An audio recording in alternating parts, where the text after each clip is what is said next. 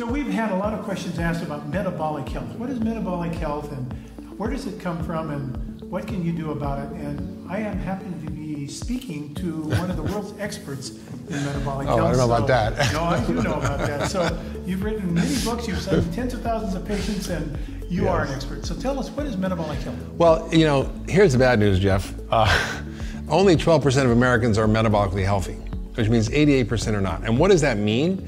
Well, poor metabolic health in that context is defined as having high blood sugar, high cholesterol, or high blood pressure. All these three things are indirect measurements of your overall poor health. It's primarily driven by our poor diet. And it drives the accumulation of belly fat or visceral fat that is not just there holding up your pants, as my colleague and friend Sid Baker said, it's active.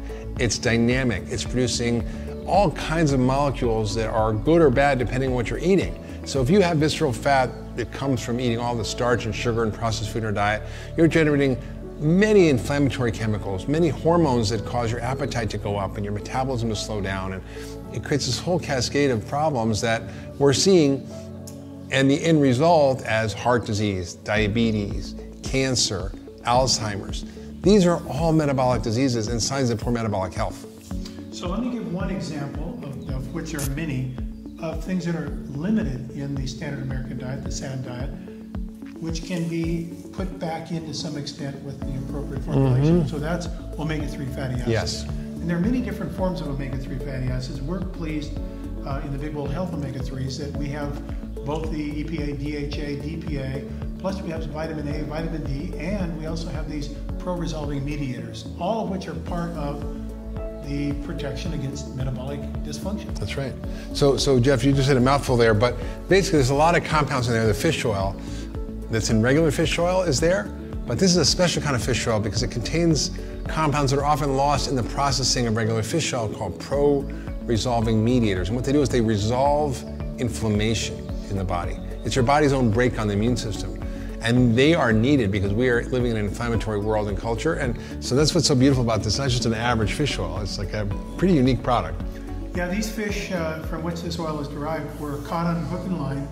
Uh, they're from 20 minutes of being a live fish, they're mm. uh, processed, and they ultimately then uh, end up uh, flash frozen at minus 10 degrees.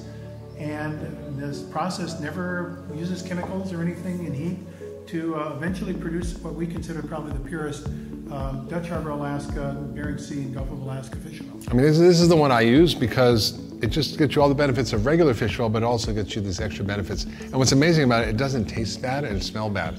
I don't know how you did it, Jeff, but it tastes and smells pretty good. Well, let me let me tell you, this was for me a revelation. So uh, we built this pharmaceutical grade plant in Dutch Harbor to produce this oil and we were waiting on bated breath for the first oil to start coming out the spigot to see what it would be like because we, you know, had all the stuff we constructed to do this.